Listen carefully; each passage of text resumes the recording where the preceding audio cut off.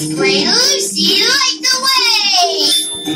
Oh, I wonder what Lucy's going to show us tonight. I wonder too, Nina. Hmm. Oh, there's an outline of a shape. I think maybe it's an animal. Yep, I see four legs and a tail. Oh, and wait, listen. I think it's going to make a sound. Whoa, did you hear that? It was a moo! I did. So what animal says moo? A cow! That's right, a cow. Let's do the other two when we come back.